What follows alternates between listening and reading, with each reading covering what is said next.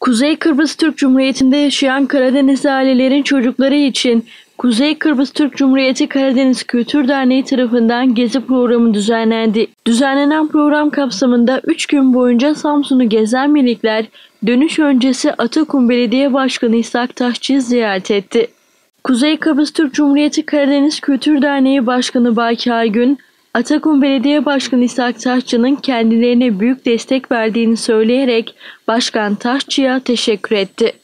Kuzey Kıbrıs Türk Cumhuriyeti'nde yaşayan Karadenizli sayısının bir hali fazla olduğunu söyleyen Başkan Taşçı, yavru vatan Kıbrıs'ta Karadeniz'de hemşehrilerimizin sayısı bir hali fazla.